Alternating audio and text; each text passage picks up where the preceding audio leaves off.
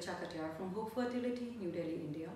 And in today's video, I will be taking up questions from patients who were earlier coming for treatment with me regularly and now they are extremely distressed that they cannot continue with their planned treatments because of the COVID-19 virus. I will also be taking up a couple of questions of a very technical nature from my friends and colleagues who are doctors. So let us get started. The first question I have is from Shikha and Shikha wants to know Is it a good idea to try for a natural pregnancy at this time? Okay Shikha, it is perhaps not the best of time to plan for a natural pregnancy because of many reasons. The government of India wants all of us to stay indoors and if you become pregnant it will be necessary for you to make at least a couple of trips to the doctor for your examination. You will need to get started on medicines which will be appropriate for you. You will be required to undergo blood tests which will mandate a visit to a laboratory and at two weeks after the pregnancy has been diagnosed you will need to go for an ultrasound to confirm that the heartbeat of the baby has come that the baby is doing fine, that the pregnancy is inside the uterus. There are many things which are important and need to be seen from the first ultrasound. Now because of all these reasons, if you have been waiting for some time now, there is no harm in waiting for like a couple of weeks more. And then once the lockdown is over and things are back to normal, then of course you should try for a pregnancy. My next question is from Darshna. Darshna has written that she has polycystic ovaries and she was taking medicines like metformin. Now what should she do? Should she continue with the medicines or not? Okay Darshna, it is good that you know that you have got polycystic ovaries. Now Patients who are having polycystic ovaries are started on medicines like metformin or glyciphage or glycomet and the purpose of these medicines is that they are insulin sensitizers. Insulin sensitizers are medicines which, to put it in layman's terms, decrease the polycysticness of the ovaries and increase your chances of making eggs. Now these medicines take quite some time to start showing a positive effect in the body and it takes up to two months for the effect of these medicines to come.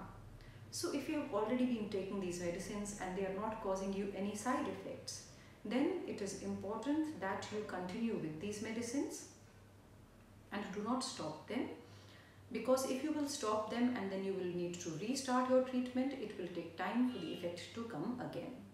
These medicines are pretty safe. They have been around for quite a number of years and uh, it will be wiser to continue with them than to stop them now. Right? Now my next question is from Nazia and Nazia has mentioned that her doctor was planning IUI or intrauterine insemination for her for unexplained infertility and what should she do now? Alright Nazia, I understand that you were quite keen on getting started with your treatment and IUI gives good results over a natural cycle. But um, because obviously you are not able to visit your fertility specialist and the IUI cannot be done this cycle, it is better that you only continue with medicines like folic acid and any other supplementary medicines which you were taking for pre-existing medical conditions like um, thyroid medication, or medication for polycystic ovaries or if you are hypertensive or if you are diabetic then all those medicines can continue but no uh, fertility treatment is advisable at this time. I have also received many queries from patients who were planning IVF treatments with their doctors and believe me it is best to stay at home as of now and not get started with any treatments. So Dr. Ritu wants to know, and this question is a continuation of what I have answered in the previous question, that what is the recommendation by the international societies regarding the fertility treatments? So Dr. Ritu, uh, we have got a couple of very good fertility societies in India like uh, ISAR, Indian Society of Assisted Reproduction and um, Fertility Society of India and also we are getting recommendations from the international societies abroad like the American Society of Reproductive Medicine, and ESHRE, which is the European Society of Human Reproduction and Endocrinology.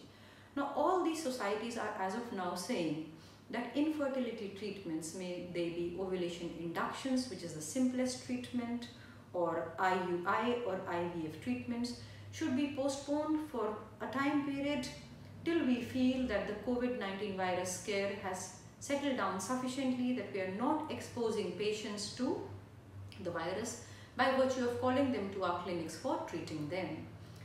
It is important to understand that most fertility treatments are not emergencies. As of now, only those patients who have got medical emergencies like severe stomach aches or appendicitis or cancer patients who are taking chemotherapy or radiotherapy or people who have undergone accidents or have fractures are encouraged to come out of their houses and visit the hospitals. Of course, apart from the patients who are having COVID-19 type of symptoms. All other patients, including infertility treatments, have been decreased to be non-emergency treatments and such patients should stay at home in the security and safety of their homes and not come outside. However, there are some fertility patients who are considered to be emergency patients. Now, who can these patients be? These patients are some unfortunate patients who have got cancer and they need to start with their cancer treatments. And before they start with their cancer treatments they would like to store or freeze either a part of their ovarian tissue or their eggs or their sperms before they take chemotherapy or radiotherapy. Because we know that cancer treatments like chemotherapy or radiotherapy can damage the germ cells like your eggs and your sperms so in such patients what we do is first freeze the gametes, the eggs or the sperms as much as we think we need to give future fertility chances to the patient and then we start their cancer treatments. So only patients who need to start their cancer treatments and who want to freeze their eggs or sperms are advised to go to the hospital and get their fertility treatments done and all other patients are required to stay at home.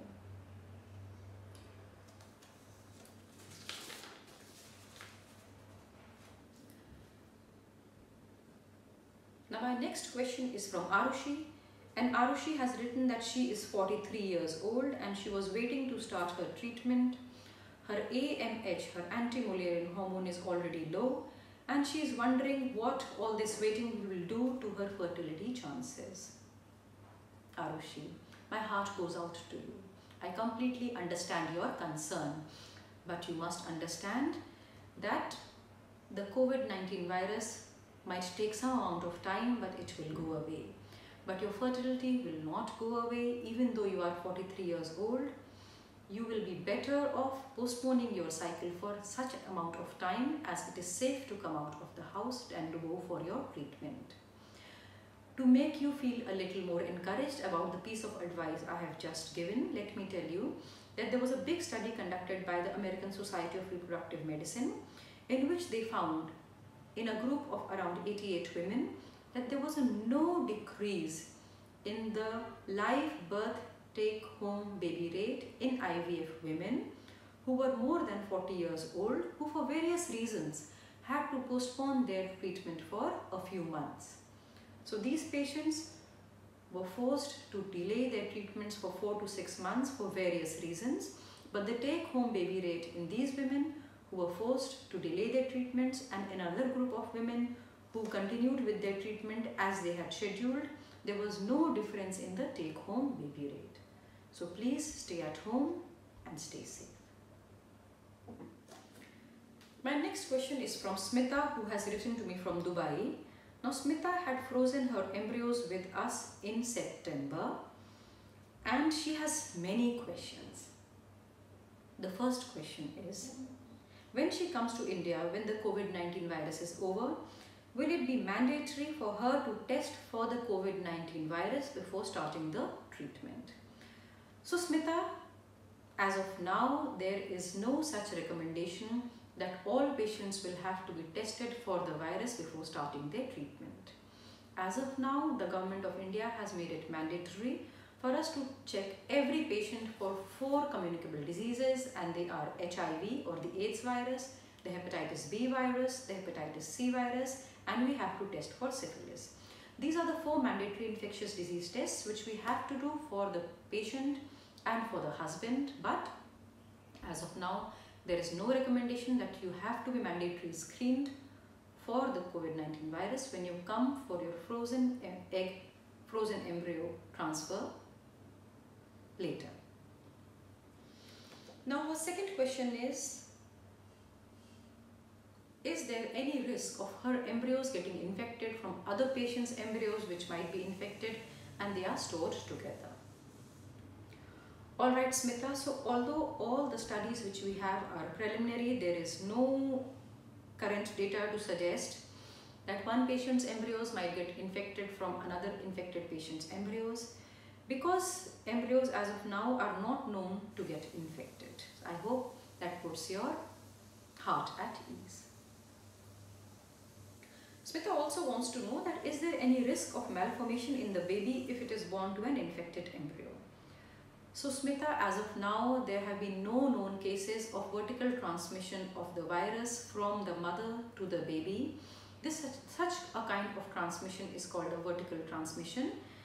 And as of now, there are no studies to suggest that there can be any kind of birth defects in the baby because of any vertical transmission because of the virus. My next question is from Dr. Anuradha who wants to know, can gametes get infected?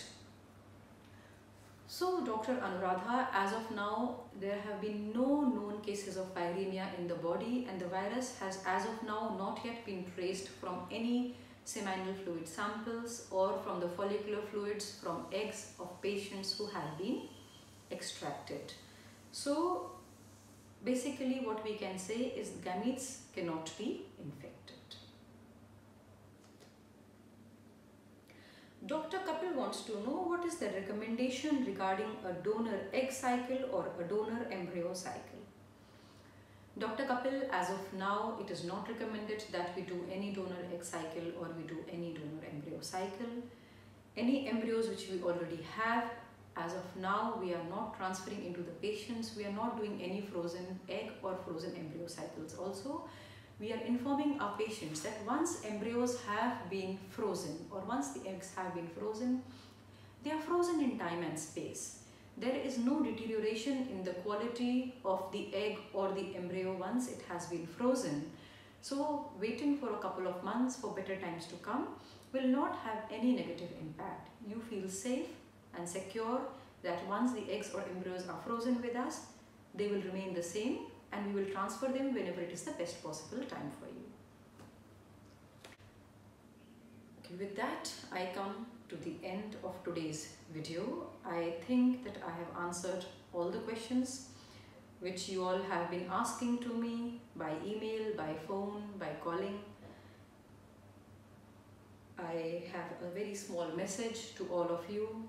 Stay safe, stay at home,